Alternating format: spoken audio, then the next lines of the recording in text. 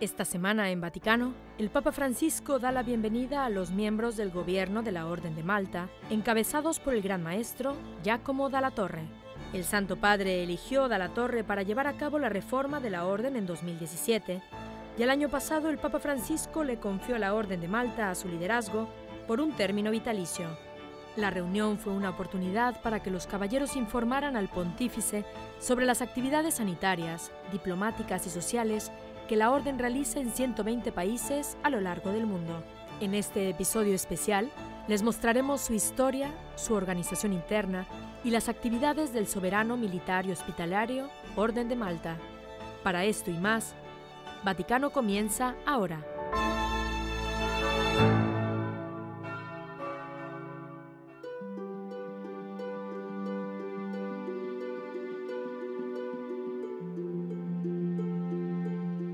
Roma, Monte Aventino, una de las siete colinas míticas sobre las que nació la ciudad eterna. Hoy en día es un tranquilo lugar entre los siempre concurridos distritos de Roma, el lugar perfecto para rezar en históricas iglesias y refugiarse del extremo sol de verano en el popular Jardín de los Naranjos. Pero los turistas también vienen a esta área por otra razón especial. Todos los días la gente hace cola aquí, frente a esta puerta grande poco atractiva, y su pequeño ojo de cerradura para echar un vistazo. Suena increíble, pero a través de este minúsculo agujero se pueden ver tres países. El Vaticano con San Pedro al fondo, la Orden de Malta con el jardín en primer plano e Italia, que es principalmente todo lo que queda entre la cúpula y el jardín. El ojo de la cerradura forma parte de la llamada Villa Magistral, la propiedad extraterritorial de una de las órdenes más antiguas de caballeros de la Iglesia Católica, los Hospitalarios de Jerusalén, más conocida como la Orden de Malta. Dentro de estas salas, el Gran Maestro recibe importantes invitados y celebra reuniones de alto nivel. Estos pasillos han visto los últimos seis grandes maestros de la Orden, ya que este palacio se convirtió en el hogar oficial de la Orden en 1834. Sin embargo, el verdadero tesoro de la villa es la iglesia de Santa María en el Aventino, renovada en el siglo XVIII por el famoso arquitecto italiano Giambattista Piranesi. Los motivos arquitectónicos de las decoraciones evocan la naturaleza simbólica de las noches y el altar mayor está dedicado a San Basilio, uno de los protectores de la orden. Todo el complejo tiene la forma de una gran nave que sostiene el globo, con San Basilio que ve hacia el cielo. Esta iglesia acoge los acontecimientos más significativos en la vida institucional y espiritual de la orden. Por ejemplo, es aquí donde los últimos grandes maestros han sido nombrados. Para descubrir los orígenes de este venerable orden de caballeros de la Iglesia Católica, nos reunimos con un miembro de su gobierno, Fray John Christian. The correct name of the order is Sovereign Military Hospitaller Order of St. John. El nombre correcto de la orden es Soberana Orden Militar y Hospitalaria de San Juan de Jerusalén, de Rodas y de Malta. Estos son tres pasos principales de nuestra historia. En Jerusalén porque la orden fue fundada en Jerusalén antes de la primera cruzada, como orden hospitalaria ayudando a los peregrinos a ir a Tierra Santa. Después se hizo muy pronto necesario tomar las armas para defender a los hospitalarios de la orden. La orden no nació como una orden militar, nació como una orden religiosa hospitalaria. To take up arms to defend the hospitals of the order. So the order wasn't born as a military order, it was born as a hospitaller religious order. Cuando la cristianidad perdió Jerusalén, la orden conquistó la isla de Rodas y se trasladó allí. Durante ese tiempo, la orden intensificó su misión militar, especialmente sus fuerzas navales. With the loss of Rhodes in 1522, Con la pérdida de Rodas en 1522, ese año Suleimán el Magnífico tomó la isla de Rodas y expulsó a la orden. Tuvo que buscar un nuevo lugar, lo que le llevó ocho años. Finalmente, Carlos V, emperador del Sacro Imperio Romano, también rey de Sicilia y Malta, donó la isla de Malta a la orden como su nueva sede en el Mediterráneo. Y así se completan los tres nombres que mencionamos, Jerusalén, Rodas y Malta. To the order as its new seat in the Mediterranean. So that completes the three names we've mentioned of Jerusalem, of Rhodes, and of Malta.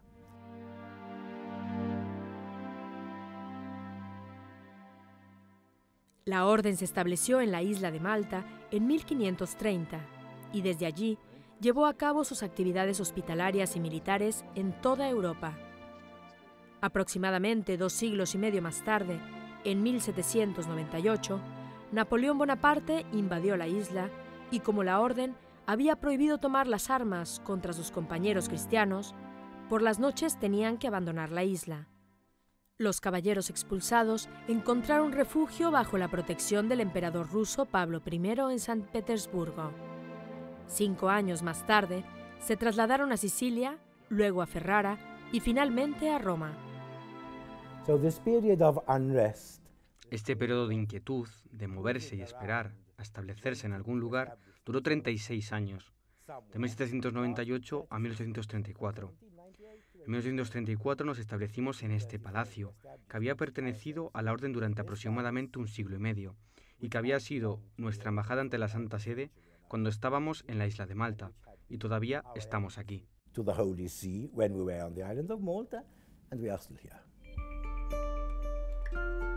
En estos días, la Orden de Malta ha vuelto a su principal misión humanitaria, cuenta con alrededor de 13.000 miembros, así como aproximadamente 80.000 voluntarios que trabajan cuidando enfermos y ayudando a los pobres en todo el mundo.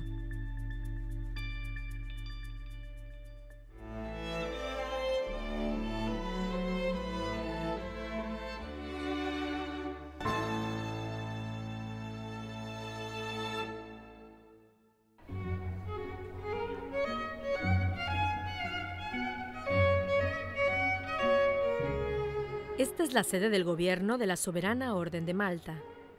El Palacio Malta está situado en el centro histórico de Roma, en Vía dei Condotti, a pocos pasos de una atracción turística conocida en todo el mundo, la Plaza España.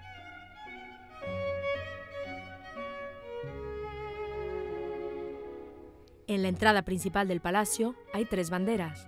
Una es la de San Juan. En el medio está la bandera personal del Gran Maestro y la tercera es la bandera de las obras hospitalarias de la Orden. Fue Fray Antonio Bocio quien donó el palacio a la Orden en 1629.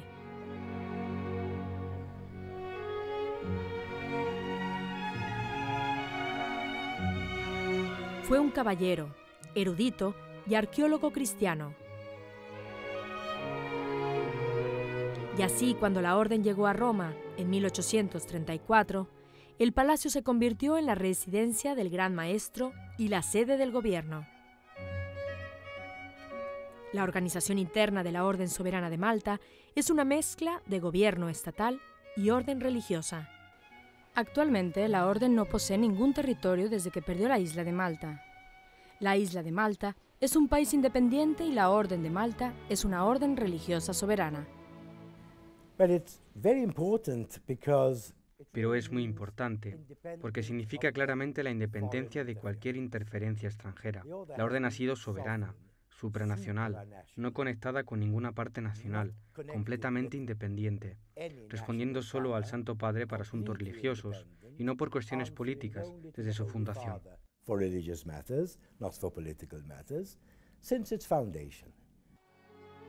El jefe de la orden es tanto el soberano como el superior espiritual. El gran maestro es un caballero profeso que ha hecho los votos de obediencia, castidad y pobreza.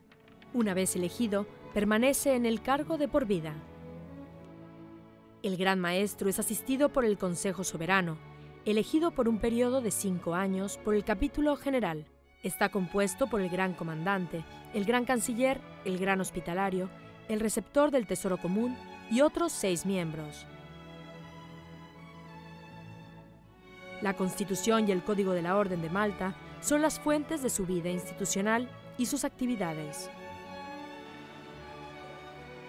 Junto con la Villa Magistral, el Palacio Magistral es el corazón palpitante de la vida institucional de los caballeros. Imagínense todo el aparato del Estado, con sus ministros, una embajada, un hospital y el Supremo Religioso, todos ellos colocados únicamente en dos edificios. A estos dos lugares institucionales, la República Italiana les ha concedido derechos extraterritoriales. Desde este eje central, los caballeros supervisan sus actividades diplomáticas, religiosas y humanitarias. La Orden de Malta ha establecido relaciones diplomáticas con 106 países y ha sido reconocida por cada uno de ellos como la sede independiente de una entidad soberana.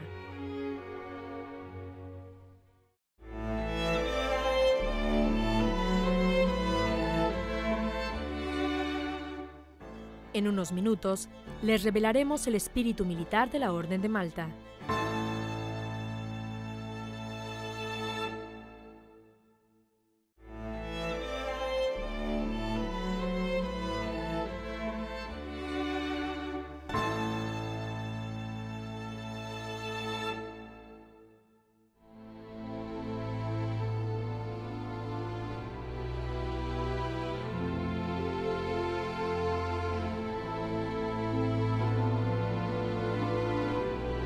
Los caballeros de la Orden de Malta tienen una larga tradición militar.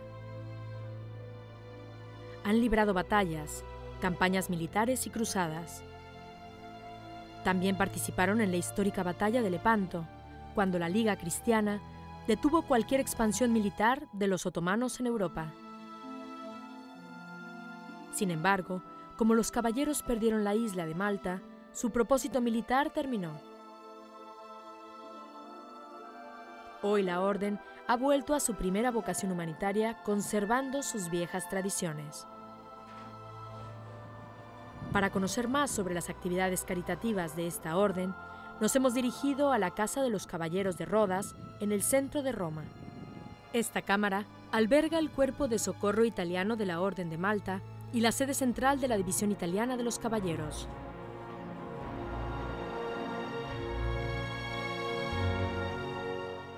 Antes de conocer las actividades de rescate de la Orden, vamos a explorar esta casa que merece una mirada especial. Este edificio es una antigua sede del Priorato Romano de los Caballeros de Malta.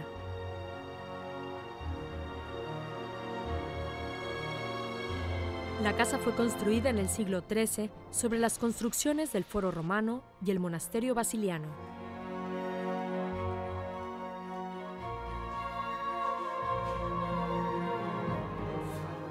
Caminando por el interior del edificio, uno tiene la impresión de que el tiempo se detuvo y se han mezclado dos mil años de historia.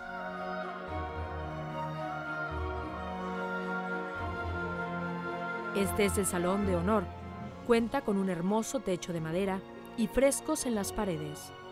Hay mapas de las islas que pertenecieron a la Orden en el pasado. Ocho banderas representan los ocho idiomas oficiales de la Orden, son el español, italiano, inglés, alemán, portugués y tres dialectos del francés. El número 8 es simbólico para la orden. Ocho son las puntas de la Cruz de Malta y ocho son las bienaventuranzas dichas por Jesús en el Sermón de la Montaña. Al entrar en el salón de la logia se puede contemplar una chimenea del siglo XVI y al otro lado restos del foro de Augusto, una cabeza de Júpiter Amón flanqueada por dos cariátides y algunos bloques de mármol. En la misma planta se encuentra también la sala bizantina que alberga frescos del siglo XIII, de la que fuera la iglesia de San Basilio. Al bajar las escaleras construidas en la época romana, llegamos al nivel subterráneo de la casa. Esta capilla está dedicada a San Juan Bautista, el patrón de la Orden de Malta. Además de las salas históricas, hay oficinas del Cuerpo de Socorro Italiano de la Orden de Malta. Mauro Casinghini es el jefe de este departamento. Asegura que la mayor preocupación por ahora es la situación en la cuenca mediterránea. Per quanto riguarda l'attività eh, nel Mediterraneo, eh, cuando hablamos de nuestra actividad en el mar Mediterráneo, hablamos principalmente de cinco equipos sanitarios dedicados a los barcos de guardia que salen de Lampedusa, de los principales barcos de la Guardia Costera, que son barcos más grandes, de unos 90 metros de largo. También dedicamos un médico a los helicópteros de la Guardia Costera, que tienen su sede en Catania y que llevan al personal médico a donde necesiten, ya sea directamente en los barcos utilizados por los migrantes o en los barcos a motor de la Guardia Costera, que intervienen allí, principalmente en áreas que Lampedusa no cubre, así que básicamente nos ocupamos de la afluencia del personal del Mediterráneo Oriental. Eh, este del Mediterráneo.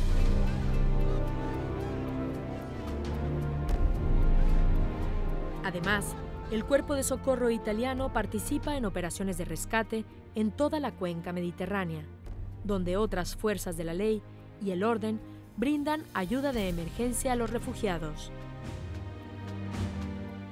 La Orden de Malta, a través de sus asociaciones nacionales y su cuerpo de socorro, tiene una red impresionante. Basta con pensar en lo que la Asociación Libanesa está haciendo ahora para dar la bienvenida a los refugiados sirios en el país. Sabemos que los refugiados sirios en el Líbano son casi la mitad de la población total, por lo que la Asociación Libanesa del Orden de Malta, junto con la Maltese International, nuestra organización que se ocupa de emergencias en todo el mundo, está proporcionando servicios sanitarios, higiénicos y alimenticios. Es decir, ayuda a estos enormes grupos de personas que generalmente se reúnen en las fronteras de los países en guerra.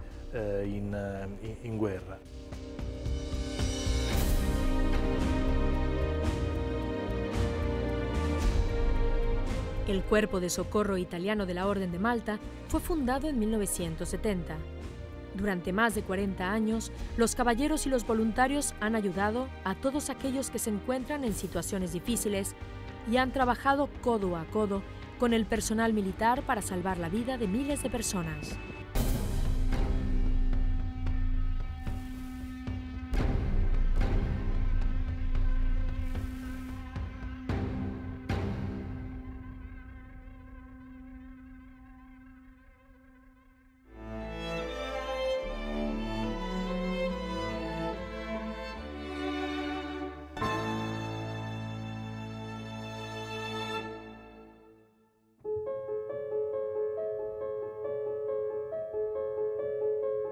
La Orden de Malta es la orden hospitalaria más antigua del mundo. Los caballeros comenzaron sus actividades sanitarias en los comienzos de la Orden de Jerusalén del siglo XII. Hoy, la Orden está extendida en 120 países, donde administra unos 20 hospitales y varios cientos de centros médicos. Este es uno de los hospitales de la Orden de Malta, dedicado a su santo patrón Juan el Bautista. Se encuentra en el centro de Roma, en una zona llamada Maliana. El edificio parece una fortaleza medieval y encajaría perfectamente con el estilo caballeresco de la orden, pero en realidad solía ser una residencia de verano de los papas. El director del hospital, Pietro Scanzano, nos explicó cómo esta antigua residencia papal se convirtió en un centro de salud. Sí, es una situación muy particular con una historia bellísima. Sí, tenemos aquí un edificio muy especial con una historia muy interesante. Esta tierra en el pasado fue un pantano en el que había muchas aves migratorias y fue utilizado como coto de caza. Era muy fácil cazar aquí. Julio II hizo construir este castillo, el castillo de la Mayana, y lo usó como su refugio de caza. a riposarsi eh, nella sua casina, nel suo castello di caccia. Después de la disolución del Estado pontificio, el castillo cayó en desuso y tras algunas décadas de mal uso, en 1957 el gobierno italiano confió el edificio a la Orden de Malta. Pero esto no es solo un hospital, es también un lugar especial donde la gente tiene una segunda oportunidad en la vida. Junto con sus colegas, María Antonieta Sergio hace todo lo que puede por la rehabilitación de sus pacientes y su eventual vuelta a una vida normal. La rehabilitación neurológica es el objetivo principal de este hospital.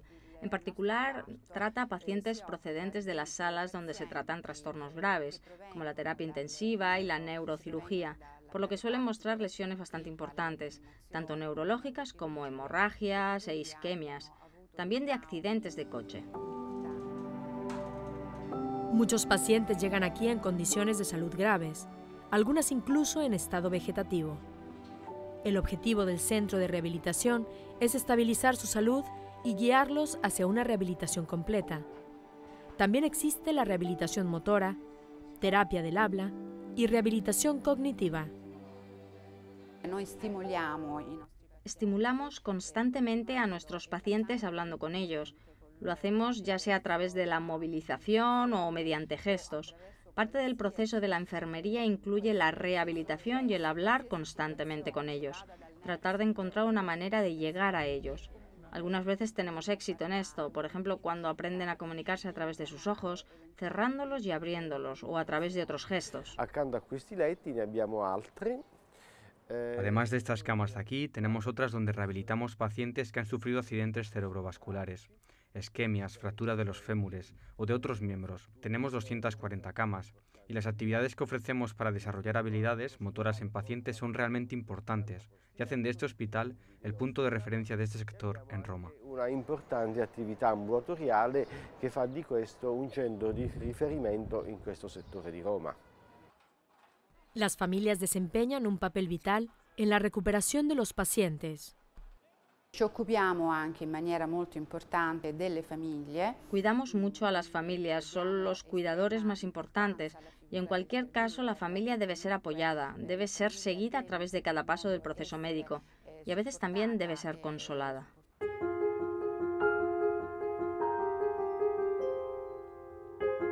En todos los hospitales de la Orden de Malta, el personal sigue el lema de la propia orden, nutrir, atestiguar y proteger la fe, así como servir a los pobres y enfermos. En todos sus pacientes, los caballeros reconocen a Cristo sufriente, por lo que cada persona es especial y única. Cuando salen de aquí, la mayoría de nuestros pacientes se marcha con un sentimiento de gran afecto hacia nosotros, porque para la mayoría de ellos es una segunda vida que le hemos dado, como si hubieran renacido.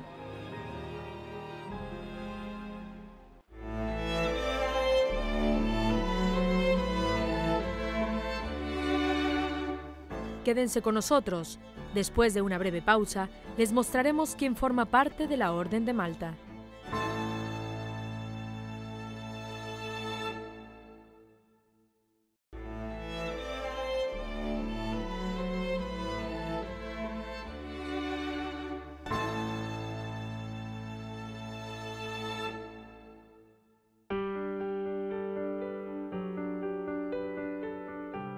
La pertenencia a la Orden de Malta era tradicionalmente un privilegio de la aristocracia. Esta norma estuvo en vigor hasta 1990, cuando se creó una vía para que los caballeros y las damas de las clases más bajas pudiesen optar a niveles más altos de la Orden. Hoy la mayoría de los miembros son bienvenidos a la Orden y no pertenecen a la nobleza. Los principales criterios son los méritos del candidato hacia la Iglesia y la propia Orden. En primer lugar, somos una orden religiosa. Algunos de nosotros estamos comprometidos en tomar los votos comunes a todas las órdenes religiosas, pobreza, castidad y obediencia. Otros no se comprometen de esta manera, solo se comprometen a practicar su fe como católicos romanos, de vivir una vida ejemplar, que pueda servir de ejemplo a los demás. Caballeros y damas se dividen en tres clases y se subdividen a su vez en diferentes categorías. Exploremos ahora la división interna por clases. Los caballeros de la primera clase tienen una sola categoría. Son caballeros de la justicia o caballeros profesos y los capellanes conventuales profesos. Estos hombres toman los votos religiosos de pobreza, castidad y obediencia. Son religiosos según el derecho canónico, pero no están obligados a vivir en comunidad. También hay monjas de la orden que pertenecen a esta categoría. Esta primera clase es la clase más alta, por lo tanto, el gran maestro, el gran comandante, el gran prior y los miembros de la oficina gobernante de la orden son todos elegidos entre la rama masculina de los caballeros profesos. Los miembros de la segunda clase son los caballeros y damas en obediencia, hacen una promesa de obediencia en lugar de un voto. Esta clase está dividida en tres categorías. La primera es la de los caballeros y damas de honor y devoción en obediencia. La segunda, la de caballeros y damas de gracia y devoción en obediencia. La tercera, la de los caballeros y damas de la gracia magistral en obediencia. Los caballeros que pertenecen a la segunda clase pueden alcanzar posiciones de altos oficiales priores, vicarios, tenientes, procuradores, regentes y cancilleres de los priores. La tercera clase de caballeros y damas está dividida en seis categorías. Caballeros y damas de honor y devoción. Se requieren raíces de nobleza. Caballeros conventuales ad honorem. Caballeros y damas de gracia y devoción, que también se requiere nobleza. Capellanes magistrales. Y por último, caballeros y damas magistrales de gracia y donantes de devoción, hombres y mujeres.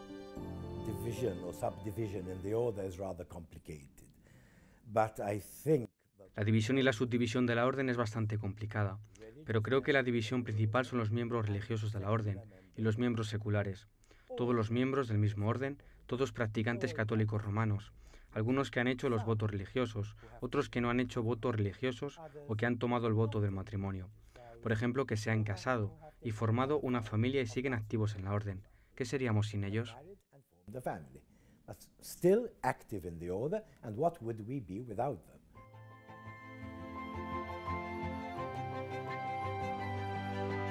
La clase más común en la orden es la tercera en la categoría de caballeros y damas de la gracia magistral, mientras que la menos común es la de los caballeros profesos. De ellos, solo hay unos 80 en todo el mundo.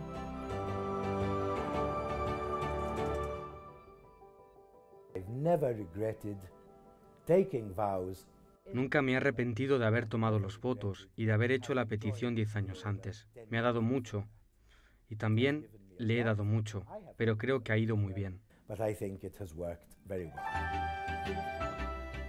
Los miembros de la Orden de Malta hacen hincapié en el concepto de nobleza en su sentido más profundo. Significa tener más responsabilidad que otros. No se trata tanto de trajes aristócratas y de riqueza, sino de la nobleza del corazón y la capacidad de servir a los demás.